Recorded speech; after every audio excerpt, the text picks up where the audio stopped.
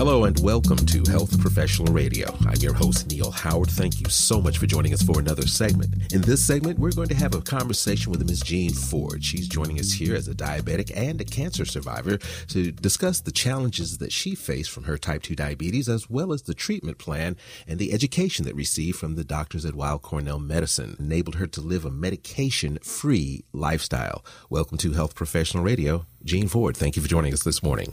Thank you so much. It's my pleasure. Give our listeners a bit of uh, background to tell us a little bit about yourself and what your life was like before you were diagnosed with diabetes. Well, I'm a retired corporate executive, and my life was building a business afterwards where I had an opportunity to help young students um, receive scholarships to go into college. Mm-hmm. So I was pretty much focused on that and not really thinking I had any issues. I know I needed cataract surgery, and so when I was uh, into my pre-diagnosis treatment for that, and they said you have diabetes, I was actually shocked Hmm. I didn't think I did. I didn't feel anything. I didn't know anything about it. And so it was just like a blast uh, um, that just took me off my feet. So with that, I ended up having to get educated, find doctors. But I have to say that the doctors that I had initially were very supportive in helping me. I was in Buffalo, and hmm. they told me what you need to do now is find a doctor in New York, and that's how I ended up with Weill Cornell Physicians in your being educated about your uh, condition, did you discover that there was a, a, family history? Did you start looking into things that may have happened that you'd had no idea in your family? I knew that my brother had diabetes mm-hmm. and he passed, but not necessarily from that. My sister, eh, who is my only other sibling, did not. My parents did not. Mm-hmm. I do believe that there were indications that maybe I was pre diabetic, that I ignored. For instance, when the doctors would say after blood tests, um, your A1C is a little high. I never questioned what that meant or what I needed to do about that. Mm. So I'm I this is my judgment that I'm thinking that that was an indication that there was something going on there. Um, so the family history didn't lead to anything. The lack of follow up for my doctors uh, kept me, I think, in the dark about the mm. situation. What were some of your initial fears when you were first diagnosed? I have to say that my first question to the doctors in Buffalo was, why is there such a stigma towards diabetes? If it's an illness, why do people treat as though you have something that you could have controlled, you could have fixed, you had no, no business having, and therefore you must be a physical slob? Mm. And that was the first beginning, the beginning of the education that it does not indicate what your lifestyle is. It's just a, it is a medical condition. So that led me to do some research about it. I think the doctors would drop tid. This is not only the doctors at Weill Cornell, but the doctors in Buffalo as well. They would drop tidbits about what the blood high blood sugar does to your body, how it can affect other organs. This is something I didn't know, mm-hmm. and it made me step back and take it very seriously because it meant that my eyes that I was initially looking at, the cataracts, could be affected. My heart could be affected. I thought diabetes was a standalone disease and that it did not affect all the organs in the bo- body. And that was a big education jump for me. Did you realize the uh, enormity of the challenges that you were about to face as far as um, your lifestyle, your diet, maybe medication, things of that nature, and, and along with this uh, newfound uh, stigma that you were going to have to deal with as well. I did. And one of the things that anyone who knows me will tell you that once I get focused on something, I can be very disciplined. One of the things the doctors in Buffalo told me is you can't have your surgery you must take care of the diabetes. You must get it, get the blood sugar levels lowered. We can help you do that. They never pushed in the sense that, oh, you poor person. They actually said, together we can make this happen. But initially, Mr. Howard, what it did for me was make me so focused on everything I ate, everything I did, that I was just overwhelmed by it.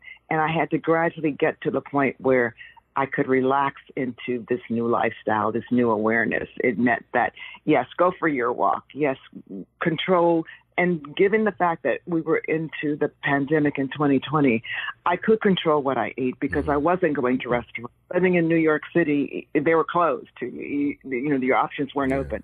So I learned to cook and I learned to cook the right things. Not always initially, but Rachel helped me with learning that, well, that's not exactly what you want to eat because I thought I was just doing the right thing. It was a vegetable, I could have it. So I did learn gradually. And then one of the things that really helped was they, Rachel and Dr. Jack had a seminar. Uh, and I think it was some of their diabetic patients, and it could have been other people just wanting to know. And one of the questions that I ask is once you've been diagnosed, are you always diabetic? So you, can you ever reverse the situation? And I asked that question because I never thought I had it. So if I'm just getting it, can I go back to where I was? And Dr. Jack said, if you can get yourself to the point where you're off medication for a while and your blood sugar levels are lower, you are in a state of remission. And I'm proud to say that with their help, I have been six months in remission. Great, great. Was it mainly your doctor's uh, support and education that formulated your particular treatment plan, or were you extremely involved in you know, looking up different recipes and, and maybe learning new exercise regimens and things of that nature. I'm asking because there are others who are going to be in your situation and you don't sound like someone who just sat back and said, okay, do everything for me, fix me. no, I will say that if you have great medical professionals helping you, listen to them and do what they say what they did was they guided me. They said exercise is important formulate your exercise program. One of the things that I did was as soon as I could get off the finger stick part and use a sensor, I was very happy with that because that was just the most painful part of the whole process.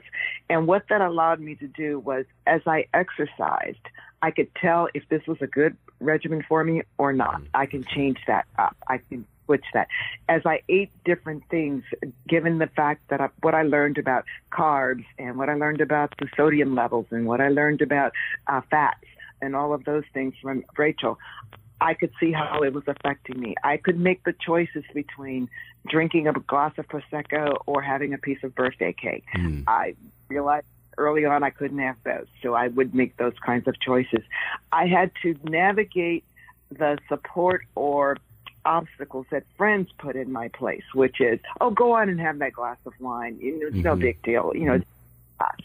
And it gradually it got to the point where the conversation became, "Are you drinking?" And if you're not, they would go move on, and it wasn't a, a push or a force to do that. So it was it was the support of the doctors. It was knowing what I could and couldn't do. It was using their guidance to develop the recipes, and it was using their guidance to develop the exercises, and follow the medical regimen. I took the medicine as long as it was prescribed. I did exactly what I was supposed to do each day.